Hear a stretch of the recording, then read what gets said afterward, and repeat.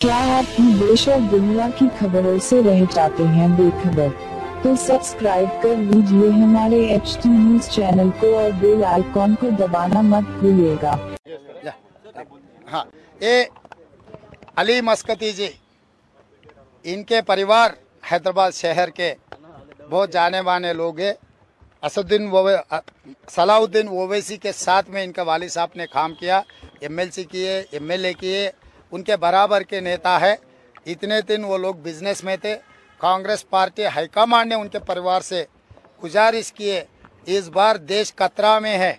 BJP और BRS मिलके देश को लूटने के लिए, देश को तोड़ने के लिए काम कर रहा है। ये दोनों को एमआईएम ने साथ लेकर चला रहे। इसीलिए ये बीजेपी बी टीम बीआरएस और एमआईएम को हराने के लिए अली मस्कदी जी परिवार को हम ये गुजारिश किए आने वाले चुनाव में चार मीनार असेंबली से ये लड़े हमारे माइनॉरिटियों को और खासकर तेलंगाना सबको एक अच्छा नेता को देने के लिए आज कांग्रेस पार्टी ने तय किया। हमारे रिक्वेस्ट को उनके परिवार में बात कर लेके आने वाले चुनाव में हैदराबाद पार्लियामेंट का वो इंचार्ज बनेंगे। हैदराबाद पार्लियामेंट में असदुद्दीन ओवैसी को हमारे अली मस्कदी साहब मुकाबला करेंगे। आने वाले चुनाव में कांग्रेस को जिताने के लिए उनका मेहनत सब सारे वो काम करने वाले हैं पार्टी के साथ। सर आज भी पंजाब से करीब सात आठ लोग ज्वाइन किए थे। ऐसे बीआरएस के कई लोग भी आके कांग्रेस में ज्वाइन किए थे।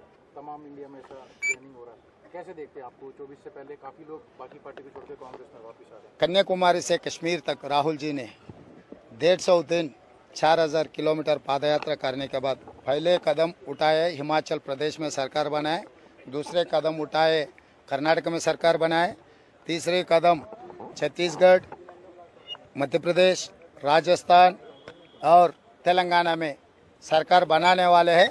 ये 2023 में होने वाले हैं। 2024 में इंडिया कूटमी देश में सरकार बनाने वाले इसीलिए सब लोग कांग्रेस को चाइन हो रहे देश को मज़बूत करने के लिए, देश को जो खतरा फैलाने के लिए भाषा के नाम पर, मज़हब के नाम पर अलग अलग तरीका के बीजेपी और बीआरएस, उनके साथी लोग जो कोशिश कर रहे हैं, वो कोशिश को रोकने के लिए सब लोग हमारे साथ आ रहे देश में हम सरकार बनाएँगे, बीजेपी और बीआरएस को हरा देंगे।